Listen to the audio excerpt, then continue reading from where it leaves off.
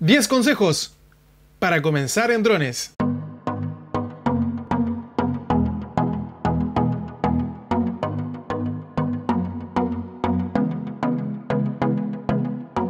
La tecnología de los vehículos aéreos no tripulados o comúnmente llamados drones está avanzando a pasos agigantados. Cada vez es más fácil y económico de hacerse equipos con calidad y prestaciones impresionantes. Además, a medida que la tecnología va avanzando, son equipos eh, cada vez más seguros y fáciles de operar. Es por ello que son un regalo muy apetecible para aquellas fechas tan importantes como son los cumpleaños, la Navidad o el Día del Niño y para aquellos que no somos tan niños también. Hoy te voy a dar 10 consejos para aquellos que ya se han comprado un dron, están pensando en comprarlo y aún no han salido a volar o bien eh, no lo han volado tanto por medio a chocarlo. Estos consejos te servirán para partir con un poquito más de confianza, para darle un poco más de eh, valor a tu trabajo con drones Así que quédate hasta el final de este video porque te voy a dar tips muy muy interesantes a la hora de comenzar en los videos con drones. Si te gusta la creación de contenidos con cámaras, con teléfonos inteligentes, con drones y sobre todo el uso de la tecnología en pos de la creatividad, te invito a que te suscribas y le des a la campanita para que YouTube te avise cada vez que suba un nuevo video. Voy a estar subiendo videos lo más seguido posible para que te enteres de las últimas novedades y de los consejos sobre la creación de contenidos usando la tecnología. Estos consejos yo creo que son eh, muy útiles a la hora de empezar con drones estabilizados. Es por eso que tengo en mis manos el Mavic Mini. Ah, no, pues este es el Mavic Mini 2.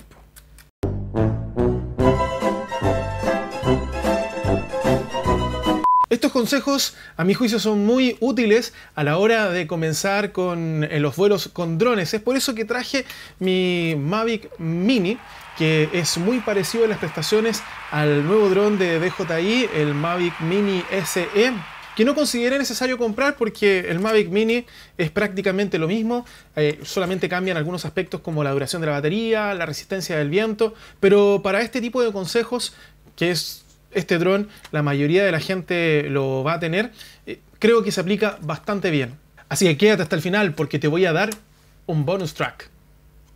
Y comenzamos. Número 1. Ármate una lista de chequeo antes de comenzar el vuelo. Y no solamente antes de comenzar el vuelo, sino que antes de salir de tu casa. Esa es la idea. Que tengas una lista de verificación de distintos pasos para que puedas eh, controlar que todo esté en orden. Todas las aeronaves, ya sea helicópteros, eh, aviones, los drones profesionales, naves espaciales, tienen una lista de chequeo, que es una lista de pasos que debemos cumplir para poder asegurarnos que todo esté funcionando correctamente, que todo esté en orden, para luego comenzar el vuelo sin ningún contratiempo. Es muy recomendable que en un papel o en tu blog de notas de tu teléfono eh, tengas escrita tu lista de chequeo para que luego cuando estés en el lugar de vuelo puedas cumplir eh, completamente con esos parámetros que son necesarios para comenzar el vuelo. Algunas cosas importantes que yo creo que debe considerar tu lista de chequeo son las siguientes. Batería al 100%. Este es un punto que lo ideal es que lo consideres antes de salir, eh, chequear tus baterías que estén al 100%. Las baterías de DJI tienen un indicador con cuatro luces que te indica cada una un 25% de carga. Si hay una, 25, si hay dos son 50, si hay tres son 75% y si hay cuatro luces eh, y ninguna parpadeando, es el 100% de carga. De esa manera tú te vas a asegurar que vas a tener todo el tiempo disponible de vuelo y no vas a tener contratiempos. Eh, por ejemplo, si quieres hacer un hyperlapse en las drones que los permitan o si quieres volar los 25 minutos, 30 minutos que te dice eh, el fabricante, que en muchos casos eso no se cumple, pero bueno. Lo importante es que tengas las baterías cargadas al 100%. Hélices ajustadas y sin daños. Eh, es muy frecuente que sobre todo estos drones, los más pequeños, que tienen las hélices tan delgadas, puedan sufrir algún daño y que tú no te des cuenta. Eh, por ejemplo, al momento de guardarlo al momento de sacarlo, al momento de cargarlo, al momento de eventualmente volarlo, puede ser que las hélices hayan perdido su forma por temperatura, por viento, por fuerza, o bien eh, estén picoteadas y eso puede provocar vibraciones que pueden reducir la vida útil del dron. Siempre ten las hélices lo más en buen estado posible para que puedas evitar daños a futuro en el dron. Siempre las hélices, idealmente que sean originales. Y bueno, eso te lo vamos a explicar en otro video. También hay que considerar que los drones como el Mavic Mini tienen hélices que son atornilladas con eh, tornillos, que como todo tornillo es probable que se suelten con el uso y con las vibraciones. Asegúrate con el destornillador que traen estos equipos que las hélices estén bien ajustadas. Evidentemente, no tienes que presionarla con una presión exagerada, solamente que, esté, que no estén sueltas y eh, con eso ya vamos a estar asegurados de que las hélices no se van a caer. Un punto importante de la lista de chequeo es que la tapa protectora del gimbal y la cámara esté extraída antes de encenderlo. Eso es súper importante que lo tengas dentro de la lista de chequeo anotada. Porque si al momento de encender el dron y esté la tapa puesta, puede suceder que el, al momento de querer calibrar el estabilizador, los motores se bloqueen y eso va a forzar los motores y puede producir un daño importante y que sea necesario no solamente cambiar el, estabilizador, sino que también puede quemar la tarjeta controladora. Así que muy importante tener la carcasa fuera. Otro punto que tienes que tener en consideración dentro de tu lista de chequeo, antes de salir idealmente, es la aplicación y el firmware actualizados. La aplicación en tu teléfono, la DJI Fly, por ejemplo, o la DJI Go 4, en el caso de los modelos más antiguos, actualizados para asegurar la compatibilidad con tu dron. Y adicionalmente el firmware de tu dron actualizado porque tienen mejoras de funcionamiento, mejoras en la estabilidad del dron y además mejoras en la compatibilidad de la aplicación y de tu teléfono junto con eh, mejoras en el nivel de señal y la comunicación del control remoto con el dron. Tarjeta de memoria insertada aquí y formateada. Muchas veces nos hemos visto en el lugar de los hechos, cuando nos vamos a nuestro lugar de destino y nos damos cuenta, oh, no traje la tarjeta de memoria, que a quién no le ha pasado, por lo menos a mí cuando estaba empezando, y no, no solo cuando estaba empezando, sino que bastante ya avanzado, se nos ha quedado la tarjeta de memoria. Afortunadamente en ese momento, como tenía el Mavic Air 2, eh, tenía la memoria interna de 8 GB que me salvó en ese momento. Pero ¿qué pasa en drones como el Mavic Mini 2 o el Mavic Mini que no tiene memoria interna? Es muy importante que antes de salir eh, en la lista de chequeo de pre-salida tengamos la tarjeta insertada y también formateada, porque puede suceder que estemos grabando videos, los videos en 4K eh, son pesados, así que eh, importante que la tarjeta esté formateada. Evidentemente tienes que respaldar todos los datos antes de formatearla, pero es muy importante. Y eso es con la lista de chequeo. Ahora nos vamos con el número 2. Verifica el sitio de despegue que esté despejado y no haya ninguna zona restringida. Es muy importante que estemos pendientes en nuestro entorno antes de volar. Fíjate si hay árboles cercanos que no entorpezcan el despegue. También mantente alejado de cables y edificios en los que puedas perturbar a otras personas, ya sea en su privacidad o de otra forma. Otros lugares en los que tienes que tener cuidado son en sitios donde nidifican aves, donde hay humedales y en otros lugares donde hay aves rapaces que puedan atacar tu dron. Ya hemos visto varios videos en YouTube donde algunas aves eh, se sienten invadidas en su territorio y eventualmente nos derriban el dron no queremos eso, ¿no es cierto? Tiene en consideración que los Mavic Mini, por ejemplo, no tienen sensores de obstáculos, por lo tanto tienes que tener mucho cuidado a la hora de eh, estar en sitios donde puedan existir algunos obstáculos, porque si eventualmente llegas a enfrentarte a un árbol, a un edificio, a cables o cualquier objeto de este tipo, puede colisionar y eso eventualmente puede dañar tu dron. Otro punto que tienes que tener en cuenta es que los drones DJI eh, cuentan con un sistema de control sobre zonas restringidas o prohibidas, lo que comúnmente se llama las zonas geo. Estas zonas son una base de datos con las que cuenta cada aeronave, donde se indican cuáles son las zonas restringidas para poder entrar, tales como aeropuertos, cárceles, zonas militares, entre otros. Esto puede significar que el dron te advierta que estás en una zona restringida. Adicionalmente, en algunas zonas debes solicitar autorización a DJI para poder despegar. Otro riesgo que puedes incurrir al momento de entrar en una zona restringida o una zona prohibida es que al momento de que tu dron entre directamente en una zona prohibida, puede provocar que tu dron aterrice de inmediato. Por ejemplo, cuando te acerques al eje de la próximo a una pista de aterrizaje, puede suceder en el caso que tu dron esté sobre el mar o esté, y estés tú acercándote al eje de una pista de aterrizaje, que tu aeronave descienda inmediatamente y eso claramente puede significar que puedas perder tu dron. En el mapa, estas zonas van a estar demarcadas con unos colores según la restricción que tengas. Revisa en la página de DJI cuáles son las zonas geo cerca de tu sector. Te dejo aquí abajito eh, el link para poder acceder a la página de DJI. También es importante que verifiques el lugar de donde vas a despejar, que esté lejos de ramas, piedras u otros elementos que puedan entorpecer el giro de las hélices o bien pueden trabarlo directamente y eso puede provocar un daño a las hélices al momento de despegar, así que ten mucho cuidado. Número 3. Espera que el dron detecte su posición antes de despegar. Este es un punto muy muy muy importante porque eh, el dron tiene una función de retorno a casa, por lo tanto, mientras más satélites tengas al momento de despegar, más precisa va a ser la detección de la posición al momento de fijar el retorno a casa. Lo recomendable es tener por lo menos 7 eh, satélites, si tienes 16, 19, mucho mejor todavía, el retorno va a ser mucho más preciso eh, para que el dron pueda retornar y aterrizar de forma segura. 4. Y esto tiene mucho que ver con el em, punto anterior. Verifica la altura del retorno a casa.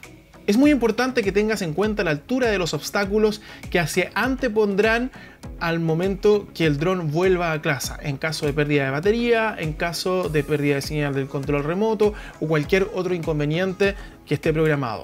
Si consideras que la altura de los edificios, por ejemplo, tienen un mínimo de 60 metros, configúralo a 70 u 80 metros para que el dron, al momento de un inconveniente o, o hagas clic en el vuelta a casa, suba esos 80-90 metros, retorne y baje de forma segura.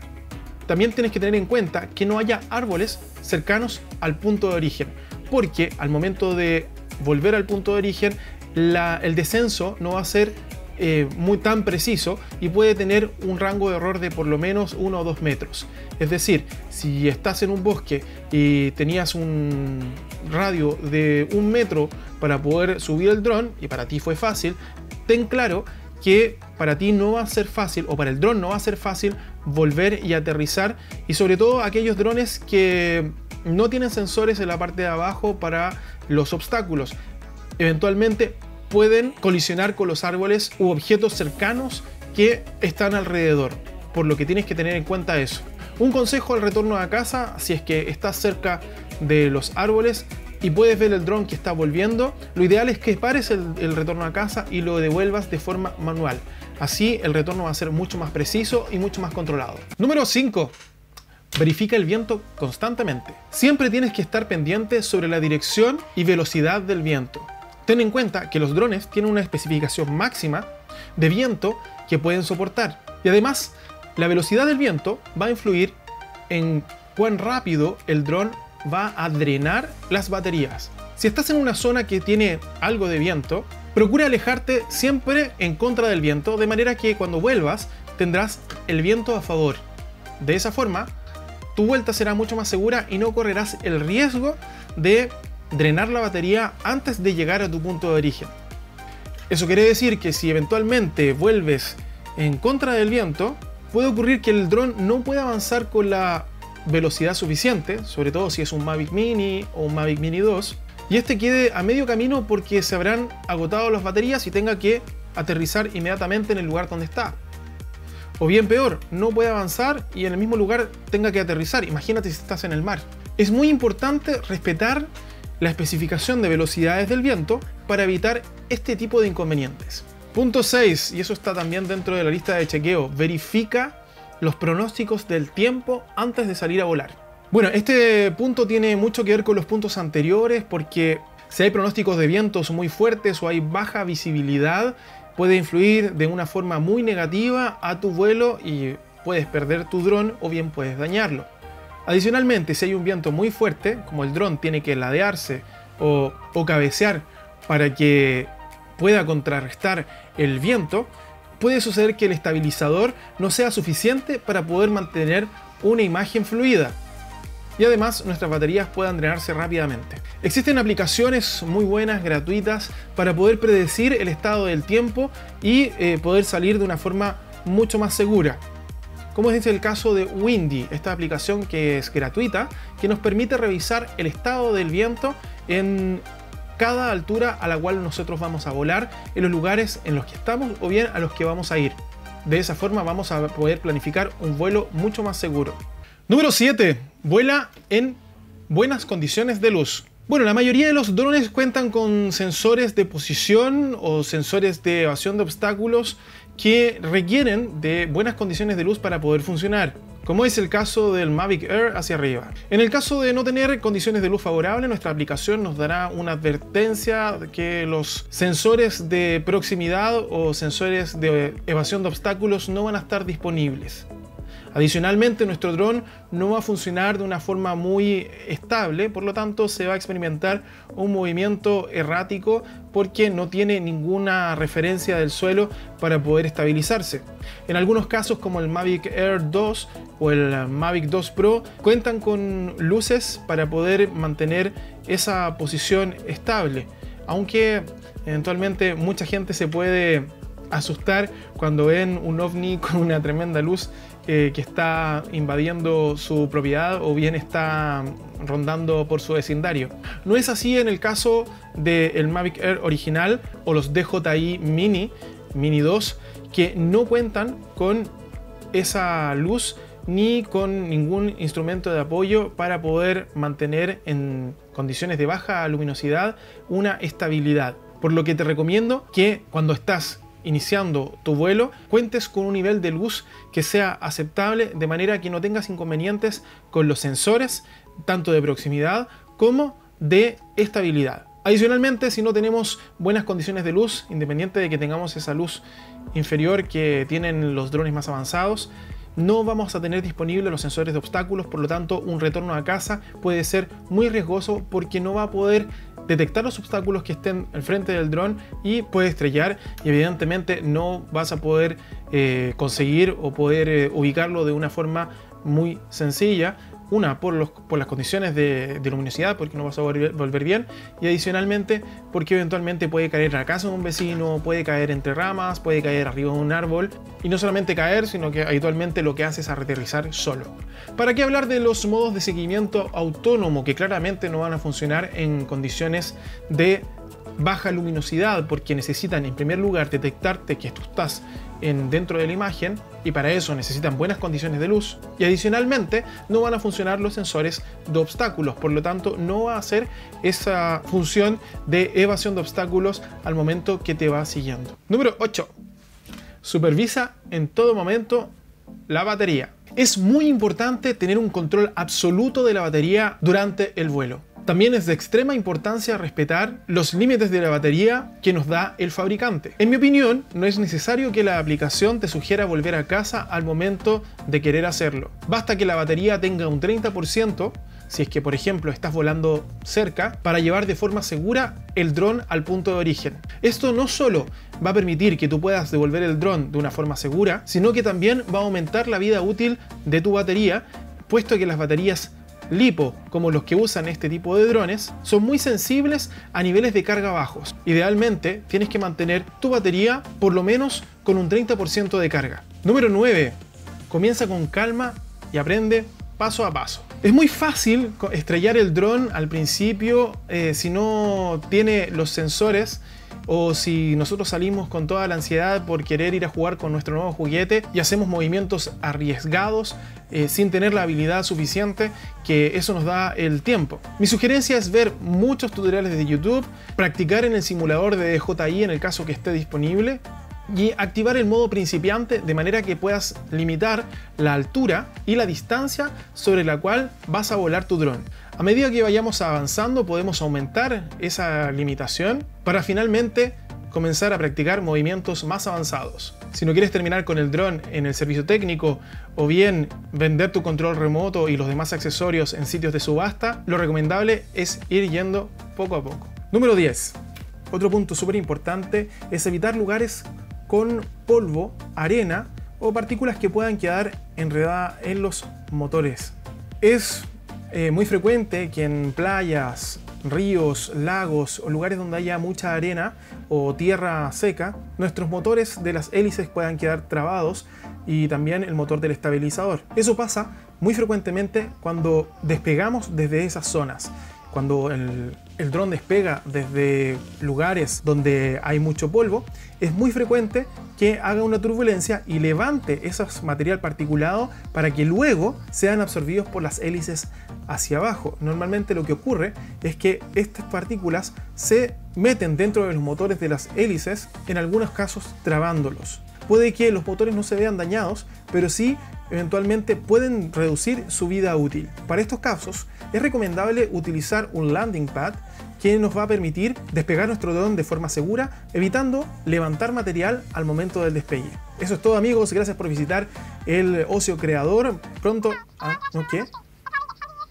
Ah, que, que hay un bonus track. Ah, vamos con el bonus track. Y el bonus track es que si quieres saber más de drones, si quieres más consejos sobre la creación de contenido, dale el botón a suscribir, clica la campanita para que YouTube te avise cada vez que subo un nuevo video, porque pronto estaré subiendo más consejos, más videos sobre las cosas que nos apasionan, los drones, las cámaras, electrónica, eh, cómo crear cosas impresionantes, cómo usar la creatividad con la tecnología. Si te gusta este video, dale like si te parece interesante el contenido que estoy compartiendo, compártelo en tus redes sociales. Esto me va a ayudar mucho a difundir el contenido y compartir todas mis experiencias con este tipo de tecnología. Si te parece que hay un punto que no está cubierto, te invito a que abajito comentes y digas qué es lo que quieres de este canal, qué te parece, qué contenido te parece interesante que podamos compartir. Y con gusto leeré tu comentario, respondo casi todo lo que pueda y te agradezco que hayas llegado hasta el final de este video. Espero que te hayas aprendido, espero que te hayan servido mis consejos y sobre todo que te hayas entretenido con estos nuevos videos que están preparados con mucho cariño para toda la comunidad. Bueno, y hasta aquí llegamos. Nos vemos en la próxima. Que estés súper y cuídate mucho. Chao.